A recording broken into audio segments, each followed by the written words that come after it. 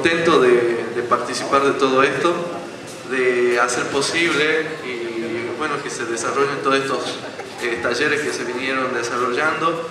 Eh, también comentarles que, que a mí me sirvió de mucho porque cuando asistí a una de las charlas que estaba dando la profesora, eh, me doy con que el 70% de, de, la gente del rodeito son descendientes de, de, de guaraníes, así que eso para mí es algo, es algo nuevo porque a mi temprana edad yo no lo sabía, así que este, estoy muy orgulloso de, por ello, así que vamos desde el municipio, vamos a, fomentar todo esto, que se vaya conociendo toda la cultura y, y más que nada lo que me impactó fue que con todo esto estamos eh, eh, fortaleciendo y estamos fomentando el sentido de pertenencia.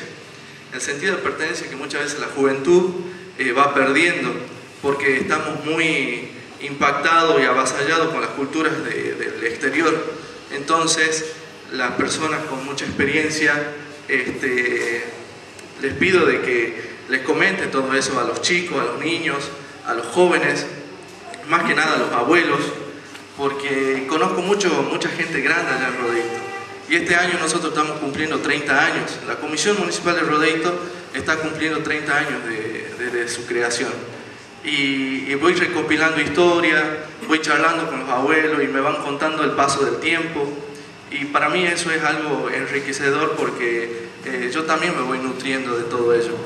Eh, hace falta un poco de historia, y bueno, qué lindo que estos sean espacios donde eh, se da la apertura y la oportunidad para que la gente se exprese y que, y que la cultura y, y todas la, la, las personas den a conocer y, y, pierdan la vergüenza y defiendan la identidad. Porque últimamente se estaba viendo que, que estamos teniendo mucha vergüenza de decir cuáles son nuestras raíces.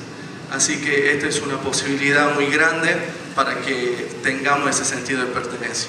Así que quiero decirle del municipio, estoy muy orgulloso de todos los que han participado en todo esto. Muchísimas gracias.